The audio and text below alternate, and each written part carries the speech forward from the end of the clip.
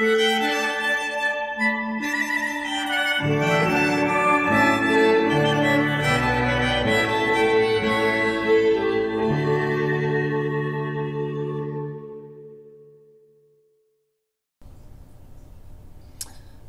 there. You are uh, in a little teaching module called The Nature of Scientific Inquiry.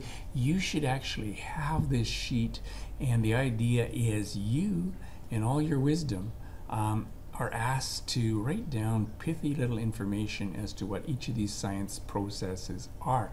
They are important in the sense that throughout the entire course, you need to be able to use them. In order to use them, you need to be able to understand them. I mean, in the past, in the days before a flipped classroom, I would actually present each one in class and people would be copying it down. Some would be copying it down, others wouldn't be, and guess what would happen?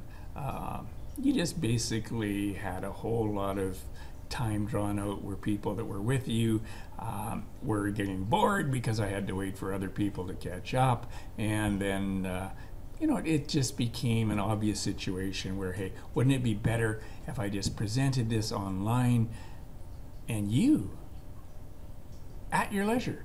Um, hopefully in class and not at home. None of this stuff should be done at home, people. The reason you need a laptop is because you are supposed to use class time to go through the actual learning experiences and you will have the benefit therefore of having me there to help you with any questions that you have rather than doing it at home, right? So again, you have lives that are important, people at home that are important, your family, you should spend time with them, you should be active in your life, get out there and run and climb mountains and do all those good things. But in order to do that, at some point or other, you do have to go through these learning experiences. They're called Bobby Talks. Uh, yeah, I like the idea because you, if you need it, can go back and just stop, replay, listen to it three times. If you don't care about school one little bit, you don't even have to listen to it at all. Of course, that has its consequences too. So, anyhow, make sure you've got this sheet. We will start with the nature of scientific inquiry, go through the terms, and uh, we'll come back probably in another little Bobby Talks and deal with the hypothesis material. Okay, let's take a look at some of these science process skills. It's not so much a matter of you memorizing all of these, observing, comparing, classifying, inferring, etc. It's more a matter of, hey, this is what you're doing when you do science. So in a semester, you're doing a lot of science. I'm one of these old-fashioned people that believe that you can't really think about something um, until you have the words, the vocabulary to actually think about it with. And if you can't think about it, then you probably can't use it. So again, um, I will make this available in the non-video format. You can go through it again if you need to. The idea of writing it down is just, hey, the studies show that if you write stuff down, your brain is somehow forced to process it, and in processing it, hopefully you remember it. So, let's go. Y'all ready for this? So, the first uh, process would be one that you have often come across in science. It's simply called observation, and a definition might be watching or examining carefully by using your five senses. Notice there are two types of observation. One of them is qualitative. What does that mean? Qualitative observations are looking at properties that supply information about appearance, smell, taste, feel, or sound of an object. In other words, your senses. Uh, if you're describing in a chemistry experiment that uh, something changes color, obviously if you say it goes from blue to clear, that is an observation that is qualitative. If you notice that heat is generated, you feel the heat, uh, that is a qualitative observation. We don't encourage you to taste anything in the lab, so you might want to avoid that. The other kind of observation would be quantitative, and as the name and the root suggests, quantity it basically uses numbers, and scientists love numbers. Uh, quantitative observations are properties that answer the question how much, or is the result of exact measurement. In any type of scientific experiment you can do, the more scientific quantitative data you can gather, tables of numbers, that kind of data, the better. Okay, I've got to show you something that I have basically passed around. Well, not really passed around. I've carried this around every year for a lot of years in the classroom, and I've asked a simple question. I've said, okay, just by observing, can you tell me which one of these little balls on the stand is most massive? This one, this one, this one, this one, this one, this one, this one. And I would go back and forth in front of every single student, and they would all stare at it, and they would all ponder it, and they'd say, I think it's this one, the biggest one. Or they'd say, No, it's a trick question, I think it's this one. And I'd say, Are you observing? And they'd look at it, and they'd stare at it, and they'd say, Yeah, it's probably this one. Um, I don't think in 30 some years of teaching, I've ever had a student actually reach out and say, let me pick it up. And they actually test it, right? Um, so this is one of the dangers of simply thinking that observation is just using your eyes. Observation is using all your senses. So when you reach out and you actually pick these up, you can detect the mass and guess what? This one is the most massive. And you wouldn't know that unless you'd actually use the sense of touch, actually picked it up and tested for yourself uh, it's a good lesson just to keep in mind. Of course, tasting, number one, you wouldn't want to taste any of these. Number two, tasting in a lab is not a good idea at all.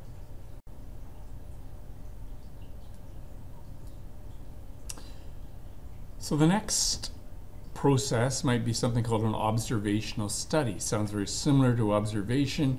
This is a scientific inquiry made through observations of a subject in a structured way that does not interfere with or influence the subject. So there's lots of science that is done that is outside a laboratory. I mean, most of the biological sciences, ecological sciences, you can't study uh, the white rhino very well in a laboratory. Um, can't study flocks of geese. You actually have to go out there and uh, place yourself in the environment where an animal lives and observe it without causing any type of uh, change to the animal's normal behavior. So you have things called blinds that, say, hunters use to hide in the wild. And the same type of thing happens with scientists who would position themselves in an environment and keep track of data around them. And from that data, then you can come to some kind of a conclusion anytime you do science, you really are very much playing with variables. A variable is any factor that could affect the result of an experiment. Um, sometimes these could be temperature, age, sex, etc. You have a sheet called Doing Science. That Doing Science sheet is basically looking at a scenario where we come up with a question. We say, there are so many fertilizers out there uh, chemicals that contain elements like nitrogen, phosphorus, potassium, which, by the way, those three little numbers on your big bag of fertilizer, that is essentially the ratio of nitrogen to phosphorus, potassium. Each of those elements has incredibly good things and important things to do for a plant. So the question is, which one is the most effective? The variable that we'd be looking at in that experiment is the fertilizer, right? So any factor, fertilizer in this case. Um, in that experiment, the independent variable is the variable that you are changing. It's the one you're in control of. Uh, graphically, if you're graphing your plant's growth uh, and comparing it with the different fertilizers used on various plants, um, you would be in control of which fertilizer you give each plant. So there would be no fertilizer, which would be a control. There would be fertilizer B going to this plant and fertilizer A going to this one. Of course, in your scenario, I think you're supposed to have five different plants, so you probably have five different bar graphs here representing their growth in centimeters. Notice, by the way, on the y-axis, um, you always include the units. Same thing with the x-axis. In this particular case, of course, fertilizer type there are no units for that. So that's the independent variable. So somewhere deep in the recesses of your mind, make sure you are actually comfortable with the word independent. It's the one you control. You're the scientist, you're the experimenter. This is in contrast to the dependent variable. That's the variable that is actually changing. On the y-axis, we actually have plant growth. Every day you come in and you take your little ruler and you measure the stem and you say, okay, this one's 12 centimeters today, this one was 8 centimeters. Eventually you come to the conclusion that fertilizer A is probably more effective uh, and you record all this data, right? So again, independent variable is the fertilizer type, dependent variable is the plant growth. Of course, there are other variables that are happening in an experiment like this, and there's always other variables. Problem is in science, you have to make sure you're controlling all those other variables so you can actually focus on the one variable you're interested in. So variables in an experiment that are kept constant or unchanged are the controlled variables. So in this particular scenario, this experiment that we're looking at where you have five different plants and you compare the effect of fertilizer on their growth, you have to make sure that you control things like the type of plant. There's no point in giving fertilizer to a cactus and a fern and expecting them to have the, both, the same growth characteristics. Same could be said for the amount of sunlight. If you stick one of your plants under a box and another one you expose to sunlight, again, that's a different variable. That's a different experiment. When you get to the end of the experiment, do you think it's the fertilizer that had the effect or do you think it's the effect of sunlight? So unless you're controlling for those variables, you don't know and you don't have a very effective experiment. By the way, a lot of experiments that are done are not controlled, and yet the conclusions that people come to uh, seem very realistic, right? So be careful always when you're examining experiments, ask yourself what are the controlled variables. In this particular experiment, again, you have to make sure you have the same soil. You can't stick one plant in a bunch of clay type soil and another one in really healthy soil you're going to get different results. And obviously plants need water, the same amount of water. You can't give one plant no water and the other one basically leave in your bathtub. Water is another variable. So just because you control those variables, you do need to make sure that there's some plant that you can use for comparison when you look at your overall experiment. So we get to the end of our experiment we have all these beautiful plants that we gave fertilizer B. How do we know that it's fertilizer B that has had the effect?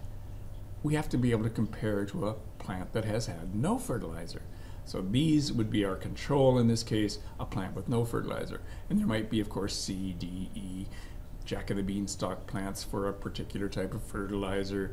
Uh, but the point is you always need to be able to compare it to some setup that is controlled. So just to read it to you, a control is a setup that acts as a standard or reference with which results in an experiment can be compared. So a controlled experiment is what we're really after. Always, always, always. Consider your experiment on the most effective fertilizer as an example. All experiments in science must be controlled in order to be valid.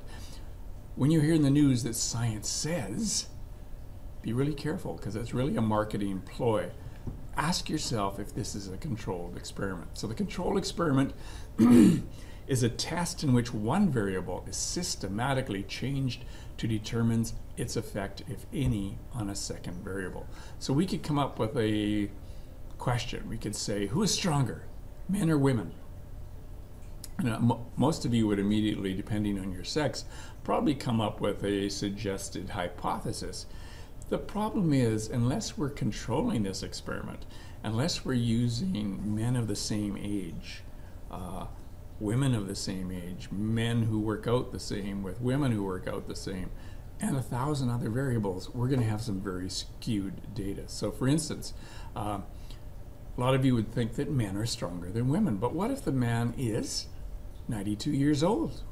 Is he likely to be stronger than a woman who's also, say, middle aged but happens to be healthy, works out, etc. Not likely. What about a man then is who is younger?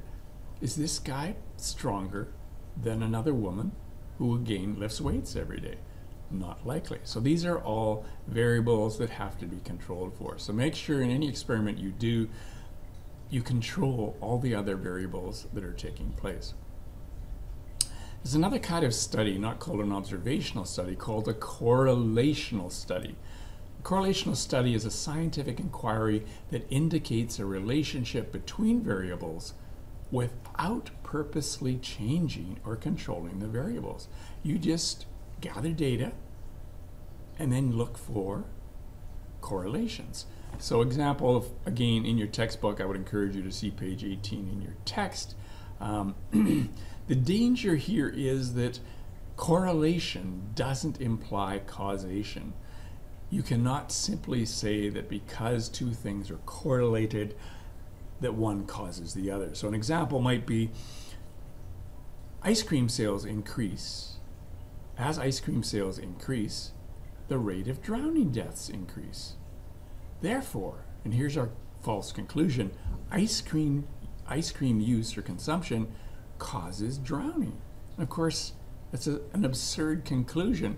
But again, look at the information. As ice cream sales increase, when do ice cream sales increase?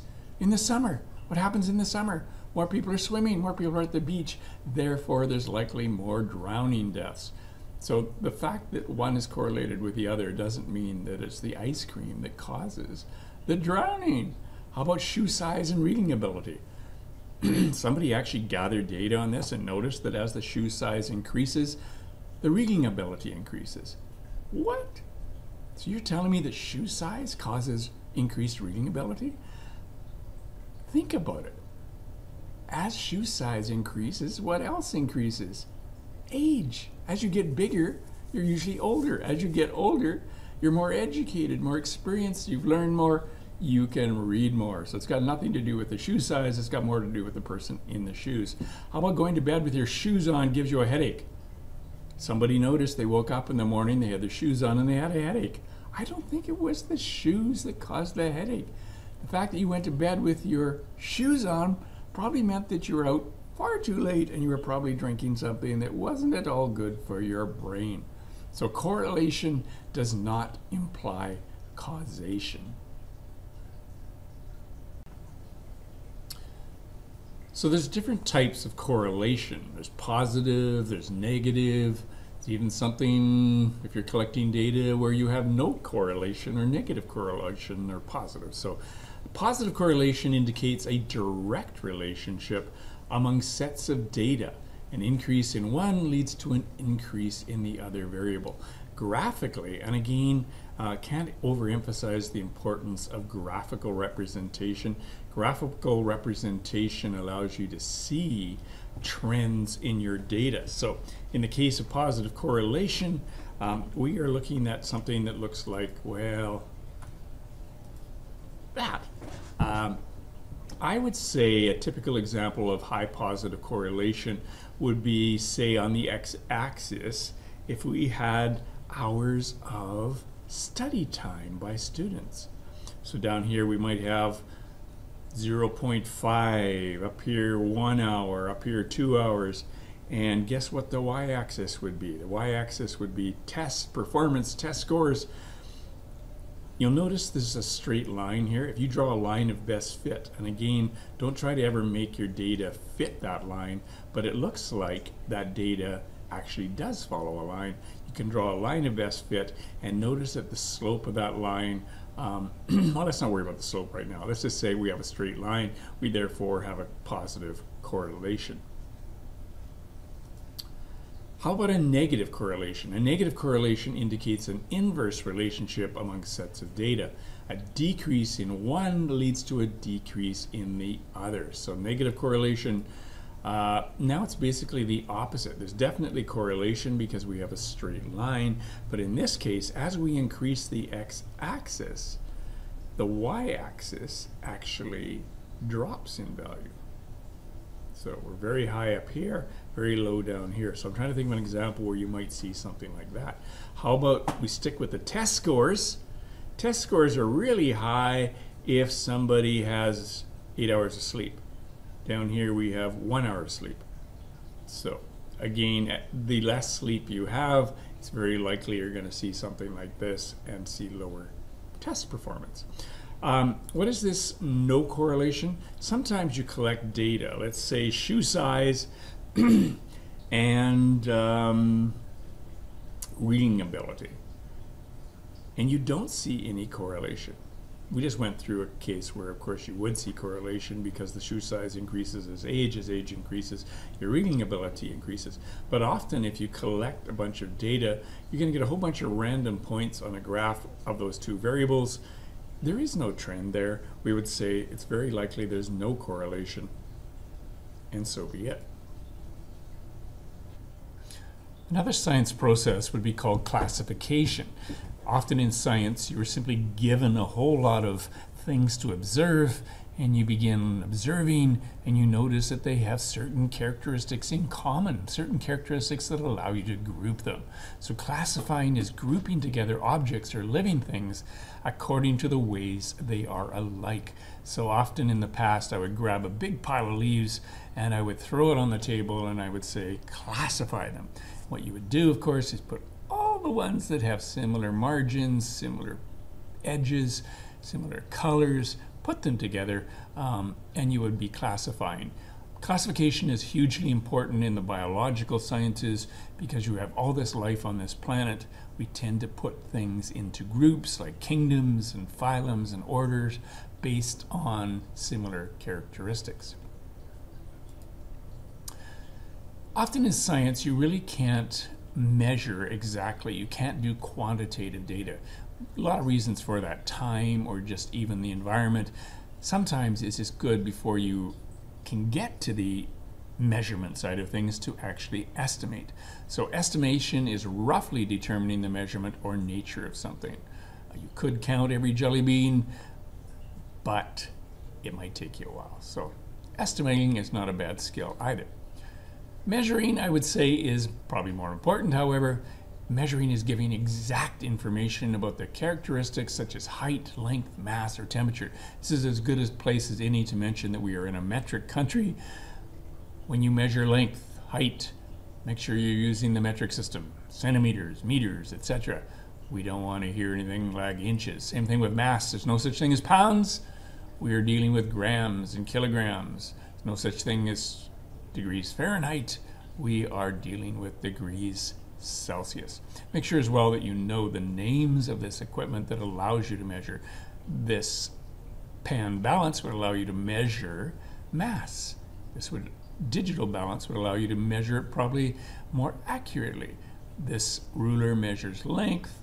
you know what this guy does measures length on around as you walk, for instance.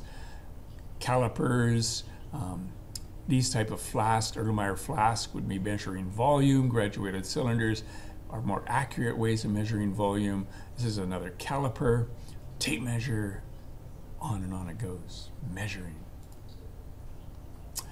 Sometimes as you set up your experimentation, you need to take out a prediction. A prediction is using observations made in the past to describe what you think might happen. I think we know what's going to happen to little mouse. Unless they're friends, of course. So an example in science might be if I drop a pencil from a height of one meter and I do it 10 times, I notice that, wow, every time it goes down. The pencil hits the ground. So for the 11th trial, I might predict that when I drop the pencil, it's going to hit the ground. So that's a prediction based on past evidence. We call that gravitation. Sometimes you look at data and you try to explain that data. So, stating an explanation that results from an observation. You might not be right, but you are trying to interpret data in any experiment. Often that data has to be interpreted on the basis of experience. So, often where you see this in, in things like optical illusions, um, or even in the use of language. When forty winters shall besiege thy brow and dig deep trenches in thy beauty's field, thy youth's proud livery, so gazed on now, will be a tattered weed of small worth held. I won't uh, subject you to the rest of this fine bit of poetry, but what I want you to get from that is that these are just black blotches of ink on a page. We call them letters. The letters combined together we call words point is that what is really happening is light is hitting those pigments. The light is bouncing off those pigments, hitting the back of your eye. From the back of your eye, the retina carries a signal Now it's a chemical signal, electrochemical signal up the optic nerve to your brain, and you interpret that as meaning. And the meaning is somehow, we wouldn't know what that letter W means unless we were in kindergarten and we learned that W means something, right? So all of these symbols on the page really only mean something when that signal goes from the optic nerve to the brain and is processed in the cortex of your brain. How does this relate to inference? Same thing with data like this one. Again, all we have are black blotches on a page. But if you stare at it long enough, you can actually infer that there is an animal on that page. In fact, it's a Dalmatian. And the Dalmatian is sniffing the grass along the curb. There's a tree off to the left. Do you see it? This is his ear, this is his nose, this is, of course, the Dalmatian, his legs, leaves, curb. Inference. If you had never seen a Dalmatian in your life, I don't think you could interpret that as a Dalmatian. Because inference is only possible based on experience. So again, we have this pretty young lady that I married, but if we flip that image upside down, huh, look what she became. Oh, by the way, just making that up. My wife is beautiful then, beautiful now. The point is, it's the same dots on a page. How you arrange those dots makes you interpret it in different ways. Same information, different inference. This is an old classic, of course. a lot of people just see the old hag. A lot of people see the young lady. Um, hopefully you can go back and forth between the two of them. This would be the young lady's nose, her eyelashes. She's coyly turning over her left or right shoulder. And this would be her hair. Now, if you want to look at the old hag, the old hag, on the other hand, this is her mouth. A very large nose, an eye, the hag. But again, it's all a matter of inferring that information.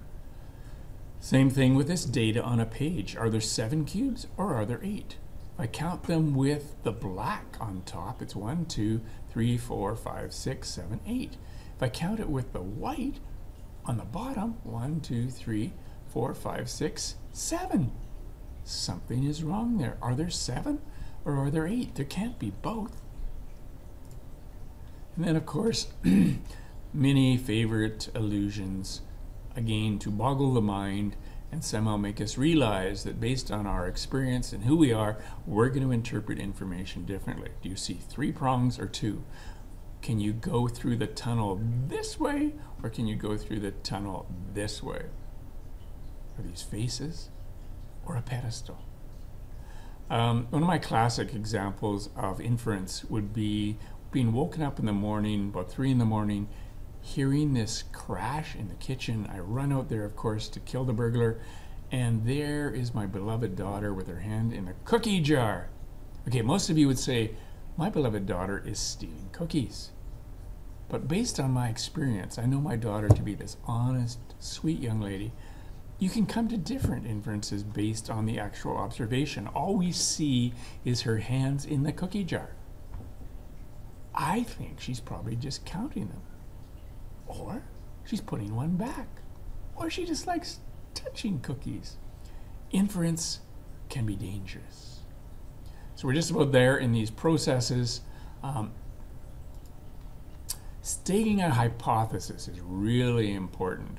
Before you can really get going on an experiment, you have to have some kind of a educated guess as to what you think might happen. So that's a hypothesis, giving a possible explanation of how something happens in nature. Usually you write them as if I do this, then this will happen. So this would be an example of a hypothesis. Grass and radishes, grass and radishes are not equally good competitors. Soil has resources, right? Nutrients, minerals. Um, you plant the seeds for grass and radish, one of them is going to compete the other. When planted together, grass will suppress the growth of a radish more than radish suppressing the growth of grass. So you plant these two seeds. The hypothesis here is that the grass is going to overtake the radish growth because it outcompetes right. Biomass is just the mass of all the living tissue grown. And if you compare at the end of the experiment, this hypothesis suggests there would be more grass biomass than there would be radish. So your little package has a whole lot of practice with stating hypothesis. If you have any problem with that, make sure you talk to me. So here's one of the obvious ones when you're doing science experiments, carrying out science processes, you're doing experiments. So just to define it, experiment is all about planning and carrying out a series of activities that help solve a problem or find an answer to a question. Yeah, yep, that's what it's all about. Most of us want to be simply told what to think about things. Um, it's so much healthier if you actually ask questions. My dear grandmother used to tell me that if she poured tea on her plants every two or three days, they would grow much better. I shook my head and thought grandma was entering dementia. Um, she also told me that she would sing to her plants, and when she sang to her plants, her plants would be healthier. And again, being the skeptical young nephew that I was, or niece, certainly was a niece, um, I said, Grandma, come on. But then, guess what? I find out that photosynthesis uses carbon dioxide to increase plant growth. So, what are you doing when you're singing? You're exhaling CO2 around that plant. So, it's actually quite possible that dear grandma, God bless her soul, is actually correct. In science, we often can't experiment with the real uh, objects because they're not really accessible. So we have to build models. So using models is employing an object, a design, or an idea that helps you understand something that can't be observed directly. You really can't get your hands on an atom very easily, and you certainly can't look at the nucleus of the atom containing the protons and the neutrons, or even the electrons. So we draw models, and by the end of this course, you're going to be very familiar with these diagrams and how to calculate wonderful things based on that information. The same thing with a cell, whether it be an animal cell or a plant cell. Um, we draw models to try to figure out how these different organelles within the cell function together. How does that nucleus actually control what happens in the cell? This is this cell is very much a city. It's so interconnected and it's like highway systems carrying out all life processes within this incredibly microscopic bit of life. Of course, one of the things in the nucleus would be the molecule deoxyribonucleic acid, DNA. And again, you can look at your own DNA, but basically it looks like a bunch of snot. So to see it in all its glory, you really have to see it in its molecu molecular complexity. That's going to take a model. And for those of you that don't like writing anything down, let me tell you that another very important science process is actually recording your data. Uh, for this, you could take notes, you could make up tables, graphs, sketches, reports, mind maps, as long as you have somehow got your data down on paper. There's a lot of sad stories of famous scientists uh, who have carried out incredible experiments, came up with wonderful discoveries, or so they said, but that never were able to repeat it because they never wrote it down. And in science, repeatability is what it's all about. You come up with a discovery for cancer, um, you don't bring in the caterers and party until other people have been able to replicate your results and repeat them, right? So you better have some very accurate record of just what you did in terms of your variables, hypothesis, etc. So part of recording information um, is also this process of analyzing the data. There's no point in recording all that information unless at some point or out, some point or other, you actually sit down and you look at it and you think about it and you, yeah, try to come up with a conclusion. Time to go home. The last one so when you look at all that data, you have, write it down. Um, experiment with different ways of organizing it. Tables are nice. Graphs are nice. All of these ways of visually seeing the data allow you to interpret it better and come up with yeah, probably a more valid conclusion.